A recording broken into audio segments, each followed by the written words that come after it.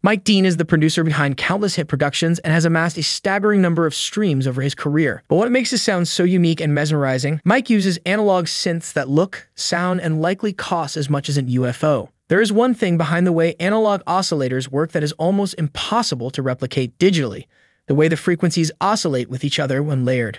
But in Omnisphere, there is a way to get pretty close to that sound. Set to mono and add some glide. Instead of using digital waveforms, go to sample. Waveform. Moog Minimoog.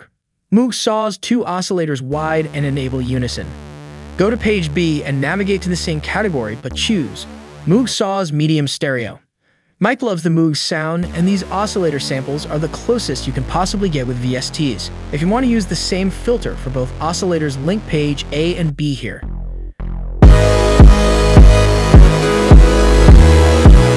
Download our bass progressions that simply work on fltips.com slash free.